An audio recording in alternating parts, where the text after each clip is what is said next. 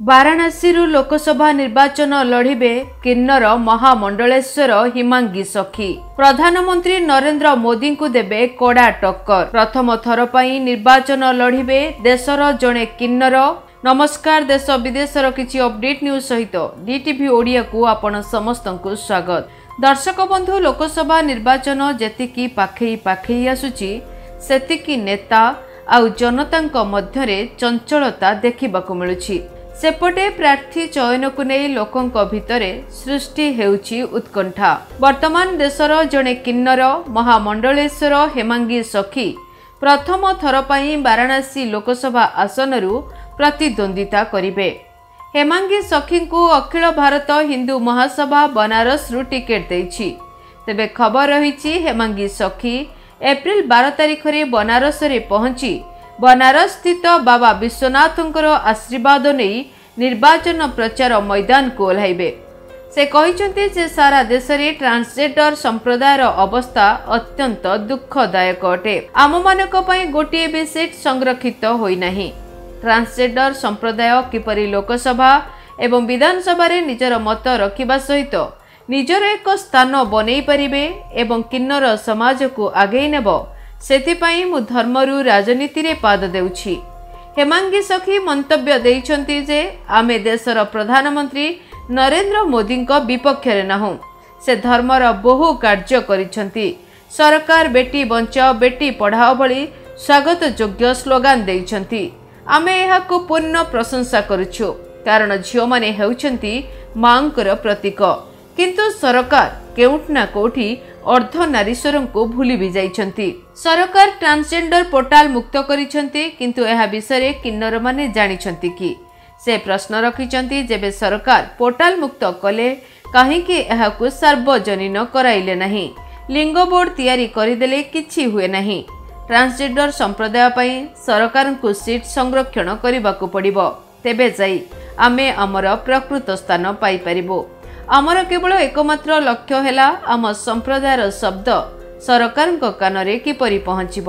ସେଥିପାଇଁ ମୁଁ ବାରାଣାସୀ ଆସନରୁ ନିର୍ବାଚନ ଲଢ଼ିବାର ଇଚ୍ଛା ପ୍ରକାଶ କରିଛି। ତେବେ ଦର୍ଶକ ବନ୍ଧୁ ଚଳିତ ନିର୍ବାଚନର ଶେଷ ପର୍ଯ୍ୟାୟରେ ବାରାଣାସୀ ପାଇଁ ମତଦାନ ହେବ। ଏହି ଆସନରୁ ପ୍ରଧାନମନ୍ତ୍ରୀ ନରେନ୍ଦ୍ର ମୋଦି ନିଜେ ପ୍ରାର୍ଥୀ ହୋଇଥିବା ବେଳେ ତାଙ୍କୁ କଡ଼ା ଟକ୍କର ଦେବାକୁ ମଇଦାନକୁ ଓହ୍ଲାଇଛନ୍ତି ଜଣେ କିନ୍ନର। ଆଜ୍ଞା ହଁ। ନିର୍ବାଚନ ପାଖେଇ ଆସୁଥିବା ବେଳେ ବଢ଼ିବାରେ ଲାଗିଛି ରାଜନୈତିକ ହଇଚଇ। ଚଳିତ ନିର୍ବାଚନର ଶେଷ ପର୍ଯ୍ୟାୟରେ ବାରାଣାସୀ ପାଇଁ ମତଦାନ ହେବ। କିନ୍ତୁ ଏବେଠୁ ସେଠାରେ ରାଜନୈତିକ ହଲଚଲ ଦେଖାଗଲାଣି। କାରଣ ଏହି ଆସନରୁ ପ୍ରଧାନମନ୍ତ୍ରୀ ନରେନ୍ଦ୍ର ମୋଦି ପ୍ରାର୍ଥୀ ହୋଇଥିବା ବେଳେ ତାଙ୍କୁ କଡ଼ା ଟକ୍କର ଦେବାକୁ ମଇଦାନକୁ ଓହ୍ଲାଇଛନ୍ତି ଜଣେ କିନ୍ନର। ଏହି କିନ୍ନର ଜଣକ ମହାମଣ୍ଡଳେଶ୍ୱର ହିମାଙ୍ଗୀ ସଖୀ ବୋଲି ଜଣାଯାଇଛି। ଅଖିଳ ଭାରତ ହିନ୍ଦୁ ମହାସଭା ପକ୍ଷରୁ ତାଙ୍କୁ ବାରାଣାସୀ ପାଇଁ ପ୍ରାର୍ଥୀ କରାଯାଇଛି।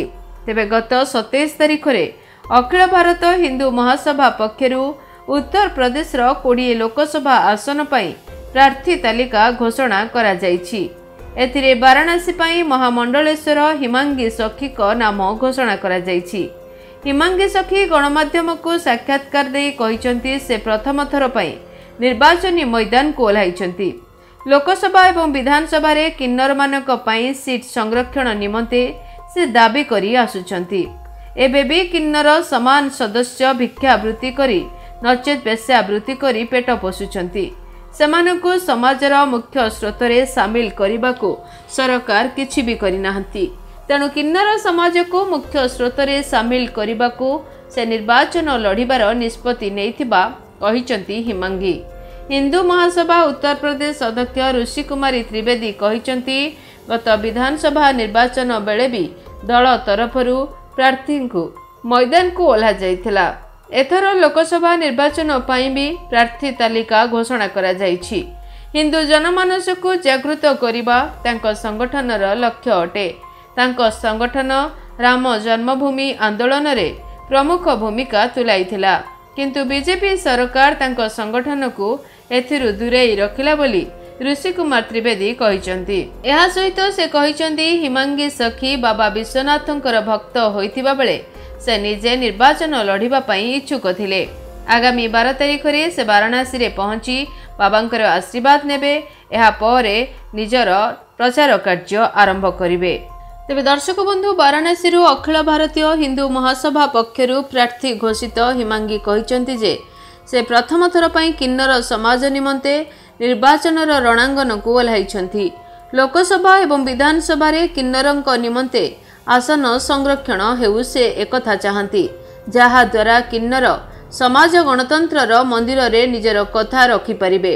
କିନ୍ନରମାନେ ଆଜି ବି ଭିକ୍ଷାବୃତ୍ତି ଅଥବା ବେଶ୍ୟାବୃତ୍ତି କରି ନିଜର ଜୀବିକା ନିର୍ବାହ କରୁଛନ୍ତି। ସରକାର କିନ୍ନର ସମାଜଙ୍କ ନିମନ୍ତେ କୌଣସି ପ୍ରକାରର ମାର୍ଗ ଖୋଲୁନାହାନ୍ତି। ହିନ୍ଦୁ ମହାସଭା ଉତ୍ତରପ୍ରଦେଶ ଅଧ୍ୟକ୍ଷ ଋଷି କୁମାର ତ୍ରିବେଦୀ କହିଛନ୍ତି ତାଙ୍କ ସଂଗଠନ ରାମ ଜନ୍ମଭୂମି ଆନ୍ଦୋଳନରେ ଗୁରୁତ୍ୱପୂର୍ଣ୍ଣ ଭୂମିକା ନିର୍ବାହ କରିଥିଲା ଏବଂ ମୋକଦ୍ଦମାରେ ମୁଖ୍ୟ ପକ୍ଷକାର ଥିଲା। ହେଲେ ଭାରତୀୟ ଜନତା ପାର୍ଟି ସରକାର ପ୍ରସଙ୍ଗରେ ହିନ୍ଦୁ ମହାସଭାକୁ ଭୁଲି ଯାଇଥିଲା ଏବଂ ଟ୍ରଷ୍ଟରେ ମହାସଭାକୁ ରଖିନଥିଲା। ହିନ୍ଦୁ ଜନମାନସକୁ ଜାଗୃତ କରିବା ସଂଗଠନର ଉଦ୍ଦେଶ୍ୟ ଅଟେ। ତେବେ ବିଜେପି ହିନ୍ଦୁ ଓ ସନାତନ ନାମରେ ଜନତାଙ୍କଠାରୁ ଭୋଟ ନେଉଛି ବୋଲି ସେ କହିଛନ୍ତି। Bureau report DTV Odia.